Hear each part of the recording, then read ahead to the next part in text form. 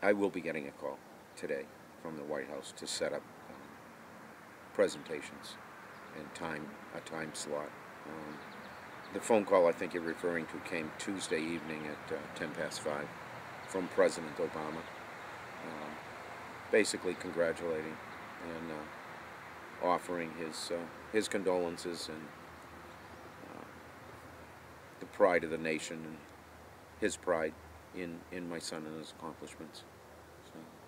It was, it was very nice to, to get a call directly from the president and talk to him directly. I was, I was very surprised um, that it came directly from him. Um, I'm waiting for a call now from the White House to, you know, work out schedules with them um, and uh, arrange times that are appropriate for both uh, President, Congress, and our family. And you'll go to Washington? Oh, definitely. Yeah. I, I plan on going anyway. They, they are having, um, they annually now have a, uh, a memorial service for all soldiers that have been killed in the Iraq-Afghani war. And I was there last year, and I was planning on going this year again on the 19th of September.